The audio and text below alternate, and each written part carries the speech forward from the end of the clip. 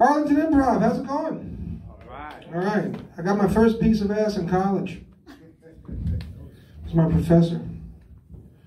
She had what had to be the biggest dick I've ever seen.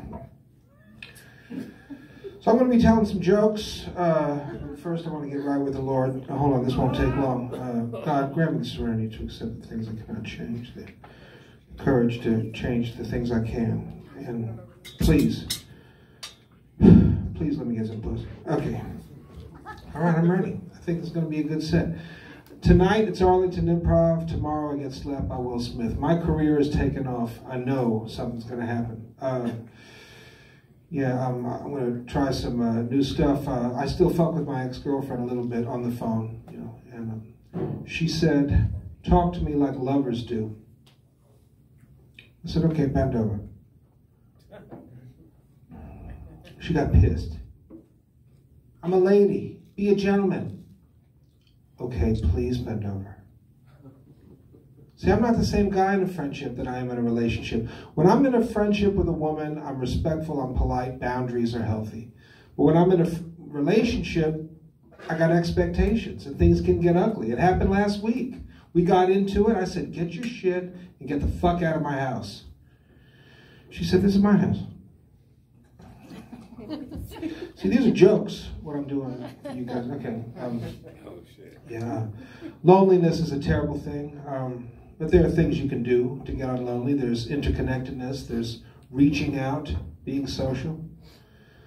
But I prefer prostitution. Okay. Take that one little laugh from the cute girl on the left. All right.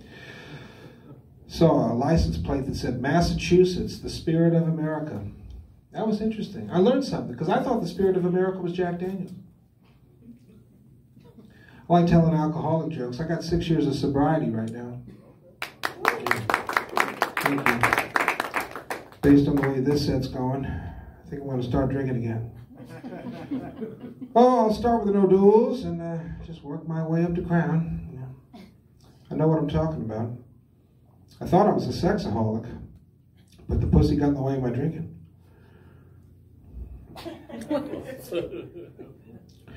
I knew I was an alcoholic because in 2016 I came home and there was a yellow piece of paper on my door that said eviction notice. What the fuck? I just paid the rent six months ago. I feel like, am I too deep for you all of a sudden? So, yeah, sometimes I miss using drugs. I'd like to go to the dope house and say, hey man, you give me the dope, you keep the consequences. About that? You guys are starting to come alive. I like you a little bit more now. You know, my chiropractor's right over here on Matlock Road. Uh, oh, I should tell you, I got rejected by a female, which is weird because I didn't even ask her out.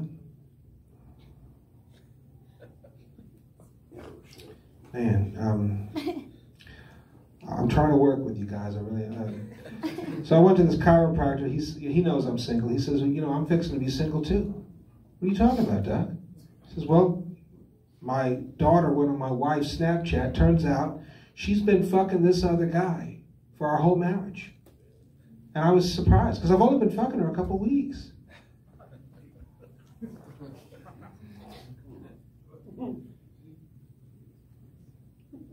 How are two hoes going to make it in a relationship?